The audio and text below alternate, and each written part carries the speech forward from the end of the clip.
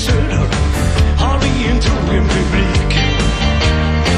Vi ska turnera så att bussdäcken glöder och spela upp vår musik. Nu är det dags att vi protesterar mot alla dom som tror de vet bäst. För den musik som vi levererar är som musik som folk gillar mest. Så det är dags för er att kapitulera